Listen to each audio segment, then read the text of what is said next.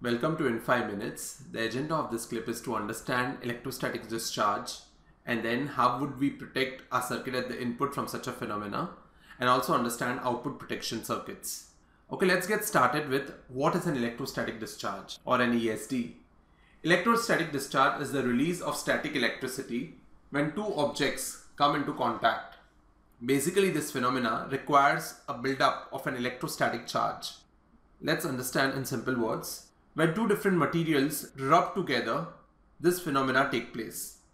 One of the materials becomes positively charged, the other becomes negatively charged, and the positively charged material now has an electrostatic charge. And when that charge comes into contact with the right material, it is transferred and we have an electrostatic discharge event. Now this discharge event can damage a device, but it can still continue to function, but it can damage the device and we need to protect our device from such phenomena.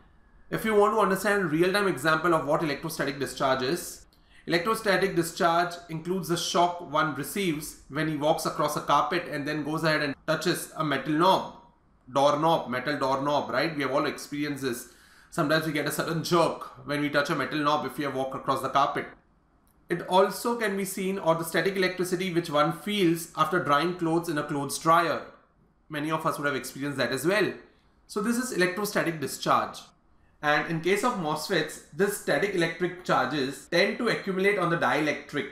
We have a dielectric, right?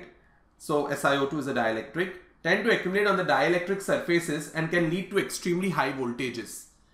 Now, in a MOSFET at the input if you apply very high voltages we'll quickly see what is going to happen. So remember this because of ESD the charges tend to get accumulate on the SiO2 layer or the dielectric and this can lead to extremely high voltages at the input.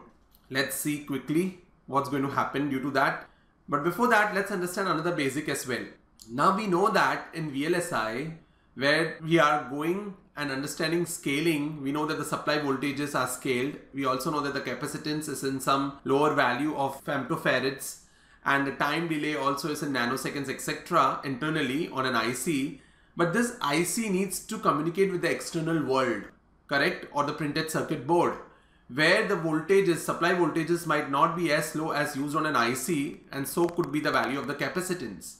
So what we have to do is technically there has to be an interface between my VLSI or between my CMOS circuits and my external world. And this interface is nothing but an external pad which we connect. So this is the input pad through which we can communicate or the external circuits can communicate with CMOS circuits. Let's similarly draw an output pad as well. So this is an output pad and similarly we can have bidirectional pads as well. Now we just said that input voltages can be very high and it can lead to a problem in case of CMOS circuits. Let's quickly understand that now. So here I've drawn a cross-sectional view. Let's quickly understand what's going to happen. Now MOSFETs are extremely sensitive to electrostatic discharge which I just mentioned or ESD events. This MOS structure has gate thickness oxide TOX, this is TOX correct, less than 100 angstrom which is approximately equal to 10 nanometers and say the gate voltage which I'm applying is around 3 volts then we know that the oxide electric field EOX is given by Vg by TOX, correct? And in this case, it would be something around 3 into 10 raised to 6 volt by centimeter. Now, here is an interesting thing for one to know. The maximum electric field that can be applied across a silicon dioxide insulator is typically of the order of 5 to 10 into 10 raised to 6 volt by centimeter. If the electric field exceeds the value, the breakdown occurs and we know that when oxide breakdown takes place, our transistor characteristics are lost on the entire IC. Even if we have such a bad transistor, only one of them, it will make our entire chip to be useless or we cannot use the chip further. So what did we understand from this clip is right now that if we have an excessively high gate voltage, that will lead to an excessively high electric field which will lead to the breakdown of my MOSFET transistor. And if such one transistor is also present on my entire IC, my IC can go for a toss. So what we need to do is we need to avoid this breakdown when high input voltages are applied at the gate. And for the same, we will use input protection circuits. Now we are ready to understand input protection circuits. Input protection circuits are nothing but some circuits which are going to design or going to be designed in such a way so that it provides discharge paths away from the transistor. What does it mean?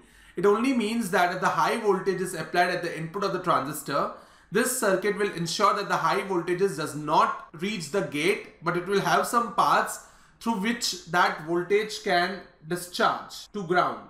And you don't have to get intimidated by big, big terms. The circuits are going to be a combination of diodes and resistors only. So they are very straightforward circuits in that way.